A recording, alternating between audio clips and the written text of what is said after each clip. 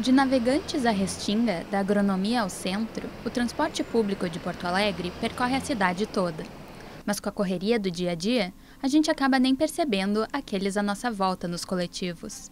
E foi com o objetivo de captar os rostos invisíveis nas viagens de ônibus que o fotógrafo Cláudio Macedo decidiu fazer a exposição A Vida nos Coletivos.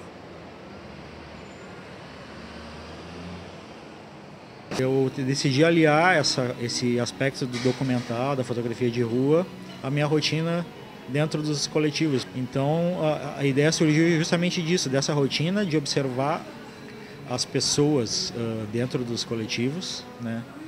Uh, ver que elas às vezes estão, apesar de estarem todas ali, elas estão cada uma isolada no seu mundo. O preto e branco consigo observar outros aspectos da foto, né? Que elas consigam ver, de repente, aquela luz que que que tá assim só contornando o, o teu rosto contra uma janela, por exemplo, sabe?